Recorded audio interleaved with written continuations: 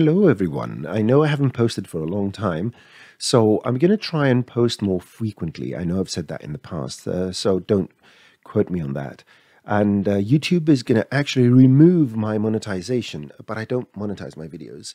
Anyhow, um, I'm going to try and post a series of videos on scene nodes, on Cinema 4D's scene nodes. And I'm going to start from the very basics, uh, the basics that don't require any understanding of um, things like programming and loops and stuff like that, because there is a huge functionality that spans from the very beginner user, and uh, you can make uh, quite interesting things.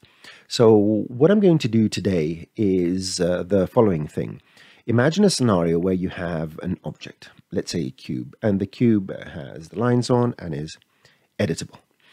Now I'm going to go to polygon mode, and uh, I'm going to select all the polygons, and I'm going to do a series of uh, modeling actions. So let's start with the inset. So I'm going to press I. I think you can find this here in the mesh. Somewhat inset these over here. You know, I can bring this up for fun. I'm going to do an inset and then the original selected polygons are still selected. Then I'm going to do an extrude and click and drag. Uh, then I'm going to do another inset. Then I'm going to do another extrude. And uh, let's assume that this is what I want to do. And it looks interesting. You know, you can add over here some uh, screen space, ambient occlusion, and it looks really fancy. So we've done this. Now, if I want to do the same actions to another object, I need to create an object. Uh, let's hide the cube. Let's set the sphere to my favorite type, which is icosahedron. Change the segments, make it editable. And now let's try and remember what we did. We did a select all, we did an inset, and the inset doesn't work now because I have preserved groups, so let me undo this. So an inset of a certain uh, percentage or small amount, then an extrude, then another inset, I'm using my shortcuts now, and then another extrude, and I have the same thing. And every time I need to apply the sequence of uh, modeling operations to an object, I have to go and do the whole thing again and again. So the question is, is there a way where I can automate that process and I can do it on any object I want and even parameterize it for different objects, different parameters, different inner extrudes and extrudes and whatnot?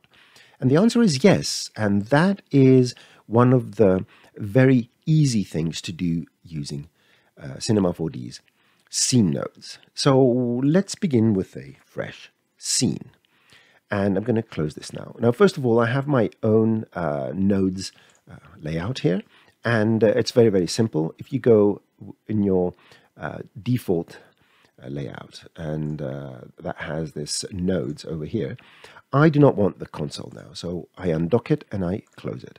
And then I take my viewport and I dock it over here. You just drag those little three dots and I make some space and I save this as the my nodes layout. So I can go to my nodes and not save the other one. I can turn off the nodes one so it's not populating this uh, very, very important bar. So how do we do this? Well, let's begin with uh, our sphere and then we can transfer what we're doing to any object. And I'm going to do the same thing. Now, you don't need to make it editable, but you do need to make it an icosahedron to make me happy. And there you go. This is the object upon which we're going to apply all these things. And in order to store those modeling actions, we need what is called a modifier. So just type modifier here and go and find this, the nodes modifier. And uh, this is a deformer, but it's a deformer that uses nodes to deform the object. And uh, just like with any other deformer, you can make it a child or a sibling of this object under a common parent. So what does this mean here? Make sure you select it uh, if you see something like this, where it says root, you're not in the right context. You need to select this after you create it, and it will bring you into this nodes modifier context. And I'm going to call this my special deformer. There you go. So my special deformer, and you can see the name over here. So what does this do? This reads the geometry of the object, does some operations in here, and then whatever we connect here becomes the object. And the simplest way to see how this works is to click in here, type C to bring up uh, the search, and type cube. And if I take this node cube and put this in the output, I get a cube. That's it. And this cube has now all the attributes here. So the modifier has totally replaced the model of whatever is above this. And it can be any kind of model. And it's uh, replaced it with whatever we're telling it to do. So let's go back to the actual operations. So let's delete this. Now I want to do, first of all, an inset. So click here, press C and type inset. If I type properly, it will come up. So this is the inset. Right, that's an inset node. And what else did we need earlier? We needed an extrude, but let's stick with the inset for now. Now let's go to the parameters of the inset. When you select it, you get the attributes here. Uh, I want it to be proportional, so it's a percentage of uh, the size of the edge. Now, if you're wondering why this turned red and why everything has disappeared, there's a general concept. If you add any node here, the modifier uh, starts working. And because there's nothing connected to this, it's actually the, giving us a result of nothing. We want to take the geometry from the parent object, which is here. We want to inset it, and then we want to spit out the geometry. And immediately, we get that inset effect. And I'm going to make a bit more space here because I don't need to see the object manager that much. And you will see now, if you select this inset and you change the value, you get that original effect on all the polygons. That's excellent. So let's try this with an extrude. So press C, type extrude. This is the extrude that we're looking for. And you can actually go and drop it. It, it does a slight highlight on the line and it will intercept that line. Ooh, that's interesting. Now, here you can see that it's um, extruding everything. It's not extruding those original polygons. So this is the first concept you need to remember. If you want to follow along in the same way we did this, there's the concept of the active selection. So let me uh, undo a few times and go back to that original thing. There we go. I'm going to remove my cube. So we are in component mode. Let me go back to my startup. And we have all the polygons selected. Cinema 4D has a concept that's called the active selection concept. And that means that for modeling tools, if nothing is selected, the tool you apply, and let's say we're going to do an inset, applies to everything. Okay. Now, if I press D to extrude, it's going to extrude everything. And if I preserve groups, you'll see it will do something very similar to what we did before. That's because we had nothing selected. But if you want to apply the effect the way we did it, you need to select all your polygons, then you do your inset, and the active selection is the original selection, which was all the polygons, and those polygons now are the ones that are highlighted because all the other polygons were generated after the action we did. And this is something that you have been working with, this concept, for decades, but you never realized that you were doing actually this thing. So we need to find a way to translate this select all and active selection into the node context. So let's go back here. Let's activate my uh, node setup and let's uh, click on this and see uh, what the problem may be. So the only thing you need to change is to make sure that that select all exists as an active selection. And uh, here, there is no selection. We haven't defined a selection to this. If this were a, an editable object, and I'm going to show you what I mean. If this were an editable object, and I had all my polygons selected here, we would see a totally different story. Look at that. It's doing exactly what we want it to do. But because the procedural sphere didn't have a selection, because we hadn't made it into polygons yet, this selection doesn't exist. And therefore, we are required to do it inside the node's context. But if you're working just with editable objects, you can create that initial selection uh, of all your polygons, which looks like this. And then that is going to be propagated down the line uh, when the selection string is set to default. There are some details about this. What does default mean? You can use some words. If you go to the help, it shows you uh, what you can use in this selection string field. I'm not going to get into that. I'm just going to show you how to do this particular operation. So let's go back to our um, procedural sphere and see how we can insert that original selection here. Cinema 4D's scene nodes has many selection nodes. So press C and type selection. Now you can always open up uh, this over here and go to nodes and you can do the same searches here. Uh, I like to press C because it makes me look smarter. But anyway, let's type selection. And uh, let's see what we have available here. I'm going to go to list mode and make these a bit smaller. And we have nodes selection, no assemble selection, go down, go down, go down, selection, selection facing. Hmm, maybe I need to type select. There we go. Select, let's go down, select. And here we have a node that says select. So let's drag this in here and see what this does. This one here allows you to create a selection.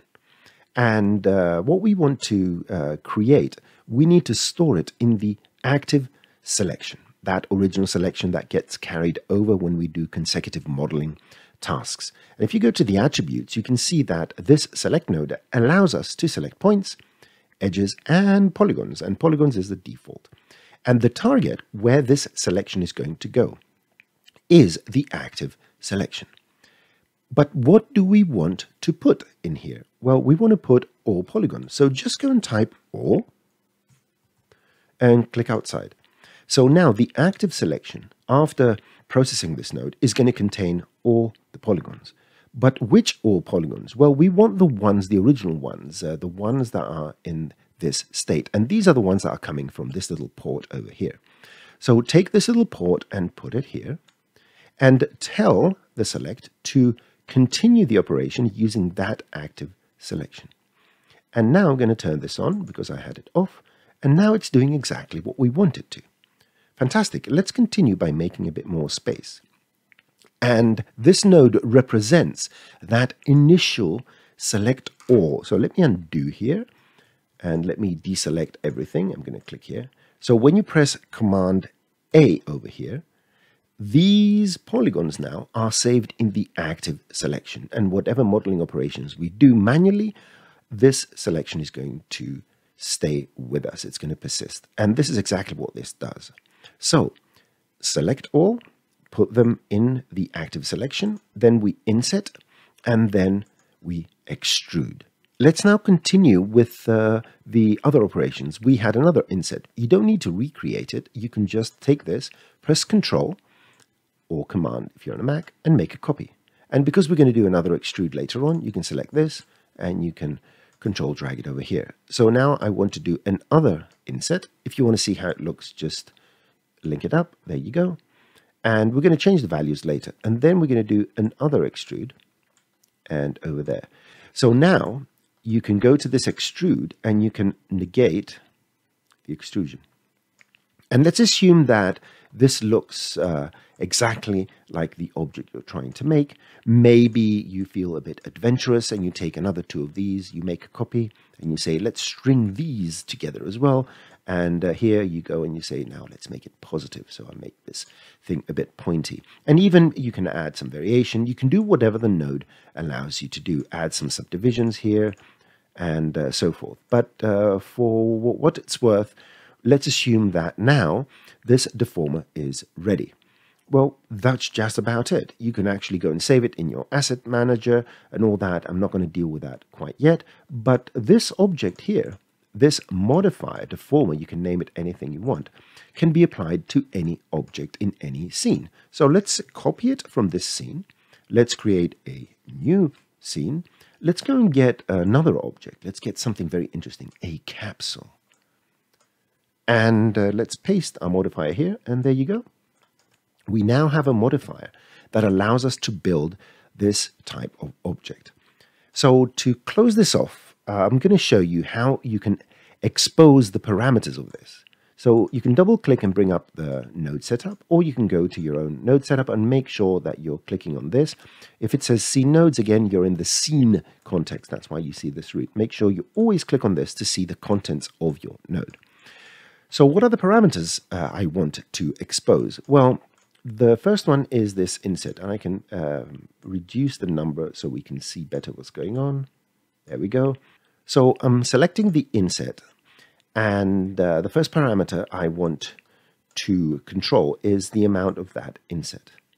And I'm going to leave it at a default of 50. If I want this parameter here, or any parameter, to appear on my modifier, on my deformer, currently it has nothing. It's quite simple. You select the node, and uh, we need to see that particular parameter on the node. And the best way to do that, just like we do with Redshift and so forth, is to go and uh, control click on that parameter on this little circle, any of these circles. It's going to expose that parameter. So I'm going to go and say I want to control click on the inset, and there it is. And now all you have to do is just drag it off and release your mouse. You don't have to bring it here. You release your mouse and it says add new input. And look at that. We have this new input here, which says inset. Fantastic. So I can uh, say initial inset. So you can double click initial inset. Fantastic. And let's go and expose a few more things. So here's the extrude, and let's go and uh, control click on this.